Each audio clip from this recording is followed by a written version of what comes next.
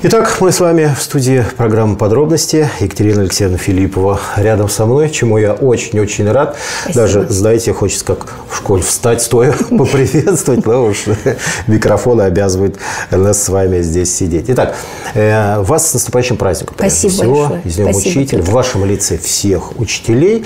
И давайте так договоримся, что а, когда у нас э, передача будет подходить к концу, я вам скажу, Екатерина Алексеевна, поздравьте, пожалуйста, вот всех учителей учителей. Ладно? Большим удовольствием ну, да. в конце нашей Да, передачи. да, да, в финале, так сказать. И вот, э, знаете, что хотелось бы сразу у вас спросить, э, как у человека опытнейшего, народного учителя. Да, мы с вами сегодня давайте не будем приводить, может быть, каких-то, ну, там, фактов и цифр, слава, слава богу, давайте обменяемся мнениями вот о том, что такое сейчас наше учительство э, рязанское. Ну, э, во-первых, вот э, с вашей точки зрения, э, мне всегда и очень часто доводил слышать, что учителя у нас в Рязани очень-очень профессиональные люди. Ну, тот вот, не хочется говорить костяк какое-то слово такое костистый, да, а вот этот основной вот состав, который работает. Вот с вашей точки сейчас зрения. такое слово модное – продвинутые учителя. Во, вот у нас сейчас действительно учительство очень активное, профессиональное, угу. обязывает время – потому угу. что меняются дети, э, меняется вообще наша жизнь. И чтобы не отставать от жизни, нужно, конечно, очень э, держать планку ну, да. Э, и успевать и что-то почитать, и профессионально обогатиться. Ну и самое главное, ну, наша жизнь материально улучшилась, учительство, угу. это ощутимо. И слава богу, что так есть. Э, ну и требования к учителю тоже возросли. Э, вы знаете, что везде сейчас модернизация у нас это слово, модернизация да, да, образования, да. федеральные образовательные стандарты. Э, и учитель только вот во всем в этом электронные журналы, электронные дневники. Для родителей, кстати, это очень хорошо.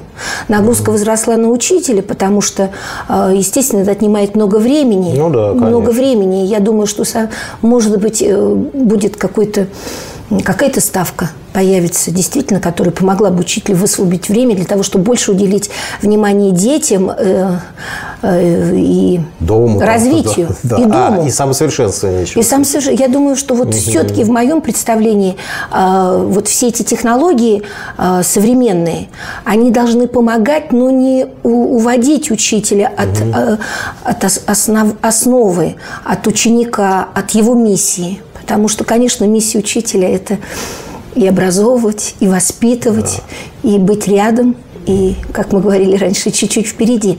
Потому что сейчас детей, знаете, с одной стороны, у нас дети тоже продвинутые, но с другой да, стороны, да, там, да. когда с ними общаешься, понимаешь, какие у них пробелы. Угу. Это тоже вот время такое, и не знают, э, ну, не знают, может быть, э, так хорошо искусства, культуры э, нашей великой. Мы сейчас все понимаем, как важно воспитывать патриота – было упущено время. И э, что бы мы ни говорили, но самое главное – это научить а, любить Родину. Угу. А это можно делать совершенно вот так вот, не знаете, не лозунгами, а просто на простом примере. Пойти убрать территорию своей школы, съездить куда-то в достопримечательное место, э, в Константиново, побродить, поговорить. Вот это вот, вот знаете, не хватает сейчас, мне кажется, вот такой духовной, душевной связи, угу. потому что мы немножечко стали вот такими э, техногенными. Тех, техногенными. Ну, э, вот это вот не надо терять, угу. мне так кажется, что, потому что все равно цель, как я сказала, это развитие ребенка. Наметить вектор, сейчас этот наш вектор развития ребенка, его траекторию. Ну, вообще, это миссия учителя, увидеть в нем его Э, задатки, способности, развивать их и э, направлять вот на правильную стезю, помочь выбрать профессию, чтобы она действительно приносила радость. Вот я 36 лет в учительстве. Знаете, я ни на минуту не пожалела, что я учитель. Хотя много было всяких э, искушений, соблазнов, уйти mm куда-то. Но я твердо стояла, говорила, нет, я учитель. И, наверное, меня учили быть учителем.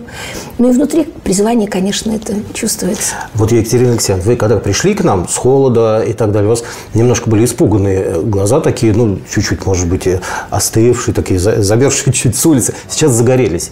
А ведь прошел буквально считанные минуты. Вы говорите действительно о том деле, который любите. любите. Это, ну, видно просто, видно. Спасибо Спасибо. Я совсем вот, ну вот на этой неделе э, шла по нашему красивому а, парку. Мы школа нашего Дворца молодежи. Угу. И сейчас э, с появлением храма Иоанна Кронштадтского все так благообразилось О, вокруг. Красиво, красиво. Я боролась за это, потому что, вы знаете, трудно было ходить. И, ну, я не одна. Мы видели, что происходит утром, после вечернего ну, нахождение. Да. И сейчас просто душа радуется. И асфальт есть, и приятный. Я шла, вот знаете, наполненная просто вот радостью. Угу. Колокола звонили. Э, я говорила, вот как, в каком вообще удивительном месте располагается наша школа. Я набрала листиков, э, к пятиклассникам вошла, они все так немножечко замерли, а у нас тема была осень и цвета осени. И мы стали говорить, вот знаете, совершенно простой момент. Это вот то, о чем я сейчас говорила, вот эта душевность. Угу. И вдруг я загорелась. Да. Они как-то по-другому. Вот найти это э, вот какое-то э, яркое такое пятно, интригу, и все, и ребенок твой. И да. ты можешь уже дальше работать и объяснять какие-то трудные вещи, э, изучать материал. Э, вот всегда э, не хватает может быть, вот нам э, творчество, немножко творчества, и ребенок откликнется. Потому что, ну, проход... да, проводя много времени за да. компьютером, понимаете, угу. вот в своем, конечно, а, как я сказала, уходит что-то вот такое вот теплое. И принести это тепло в класс – очень важно для учителя угу. и для от, детей современных. От сердца к сердцу, чтобы шло. Вот ну, какая-то да. ниточка протянулась. Вот протянулась, вот, и да, и угу. связь. И, и так они какие-то прям, вот, знаете, весь урок это такое было. И эти листики стояли, и они, и мы, и так мы изучили единственное и множественное время, потому что был один листочек, потом появился другой. Это сложный материал такой, вы знаете, и все так пошло, пошло, пошло удивительно. И урок состоялся. Урок состоялся. Э, не всегда так бывает. Но э, и учителя должно быть вдохновение. Понимаете? Я же вот описала эту ситуацию. Я шла, сердце радовалось. А чтобы радовалось сердце, и как можно чаще нужно напитываться положительными эмоциями. Сходить на выставку, э, сходить на концерт. Сейчас, благо, у нас действительно такие мастера выступают. Э, послушать музыку, я не знаю, почитать книгу это очень важно Открыть для учителя. Душу к Открыть душу. К чему-то, да, да, к да мы сейчас говорим, красивому. что важна не просто, но это профессиональный уже термин, э, метапредметность, то есть надпредметность. Когда ты э, вдруг э, помогаешь детям увидеть, что физику мы не очень э, не ради физики, что история, она оказывается историей, и у всех стран своя история, и что ты делаешь свою историю. И вот чуть-чуть вывести из этого состояния и увидеть, что э, все связано. Э, иногда начинаю урок, знаете, со стихотворения.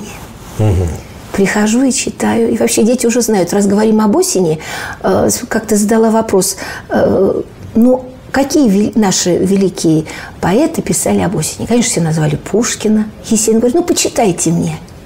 Удивление – на русском? Я говорю, конечно, на русском. Потому что Пушкин-то был француз. Вот сначала писал на французском, потом стал ну писать на русском. Э, я говорю, выучим его стихотворение на французском языке первое. «Mon portrait». Мой портрет. У него есть замечательное стихотворение. Ну, вот, вот, наверное, вот творчество, творчество. А чтобы было у учителя творчества, ему нужно все время вот подпитываться. Ну, отлично. Вот мы с вами, не начав еще говорить, уже, к сожалению, исчерпали эфирное время наше. Вы, вы что, не сердитесь, ну просто телевидение отрезками, там 10 минут, там 15 минут, там 7 минут. Что делать? Хронометраж. Но я специально, как я уже, как я обещал ранее, вам оставил, оставил время для поздравлений. Вот поздравьте, пожалуйста, скажите что-нибудь нашим, вашим коллегам, нашим учителям, потому что все мы Моим дорогим учителя. коллегам я желаю, э, конечно, очень э, ну, счастья, человеческого счастья. Это очень важно. Здоровье. Потому что мы вчера очень много, вчера было поздравление, э, областное поздравил губернатор. Это было в Рыбном, в физкультурно-оздоровительном комплексе «Звезда». Мы все поняли, как важно здоровье. Очень лозунг был интересный написан «Здоров ученик, Здоров учитель, здоров ученик. Поэтому прежде всего здоровье. А самое главное – творчество, счастье в семье, любви, уважение наших учеников. Пусть нас не забывают, а я знаю, что нас не забывают. Э, приходят смс поздравления, телефонные звонки, заходят дети в школу. Это самая большая награда для учителей. Пусть у вас будет побольше таких личных наград. С праздником! Спасибо большое. Вам всего вот этого того же, Екатерина Алексеевна, потому что лучше вас э, я уже не скажу. С праздником вам счастья и да. хороших, хороших, хороших дальше уроков, множество общения душевного, чтобы всегда у вас глаза спасибо. вот так вот спасибо. горели. Большое спасибо. спасибо. Ну а зрителям я напомню, вы смотрели информационную программу телекомпании «Город». Подробности. Всего доброго.